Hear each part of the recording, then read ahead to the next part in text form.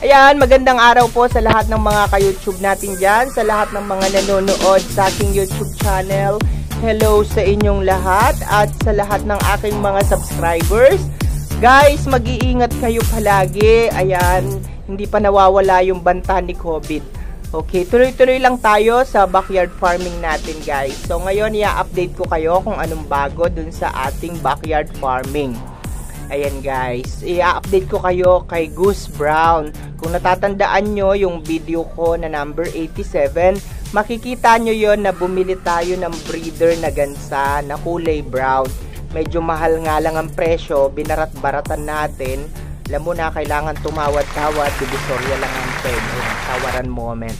Ayan, nabili ko ng 2,500 yung ating brown goose. So, ngayon, mag-iisang isang buwan sila ng itlog na si mother goose. Ayan, kung makikita nyo, ayan yung video ko. Ayan, ang itlog na yung ating brown goose. Nga lang, ayan, tignan nyo, tignan nyo. Ayan, lima yung itlog medyo mabangis nga lang siya sobra siyang nanunuka sobrang sakit nung kanyang tinuka sa akin guys pero may lima na siyang itlog so we're hoping after one month na maglilimlim siya ng itlog eh makita na natin yung magiging kalalabasan ng baby ni brown goose.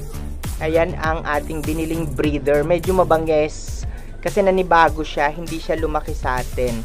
Okay. Unlike nung ating, ito, yung isang ating gansa, ito si White Goose naman ngayon. Ayan ang naglilimlim, ang dami ng kanyang itlog. Ito guys, yung napisa last uh, January 5, 2020. Napisa itong goose na to. So, ngayon, nag nangingitlog na siya. Pangatlong pagingitlog na niya to, paglilimlim. Hopefully, after one month then almost the same lang, na mapipisa by April 15 mapipisa na tong mga gansa na to. Ang kagandahan dito guys uh, tip ko lang sa inyo kung gusto niyo mag-invest makikita nyo yung kita nyo yung magka-profit kayo agad. So boom, uh, better na bilhin nyo yung breeder na. Yan kasi in a matter of 2 to 3 months makikita na ninyo yung inyong profit, yung kanilang magiging mga anak. Nga lang, make it sure nga lang dito na yung gander eh marunong siyang makipag-mate. Minsan kasi may pagkakataon na yung gander o yung lalaking gansa eh hindi marunong makipag-mate.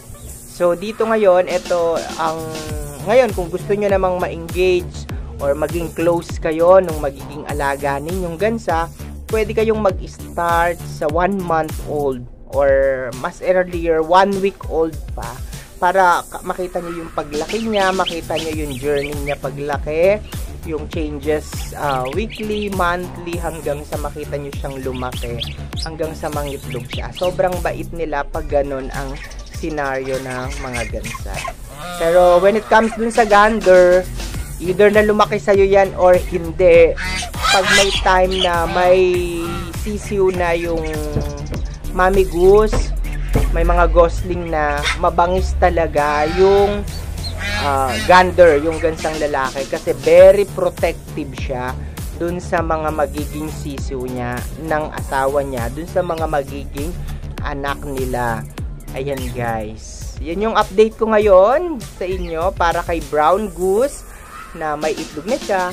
Tapos pati kay white goose natin. Yan, update ko na lang kayo uli sa susunod kung ilan yung mapipisa. Guys, ito muna yung vlog natin ngayon. Uh, mag-ingat kayo palagi dyan. Thank you very much for watching. Don't forget to like and share and comment down below dun sa uh, video ko. Paki, uh, please subscribe and also click the notification bell para lagi kayong updated sa mga videos na ina-upload ko sa aking YouTube channel.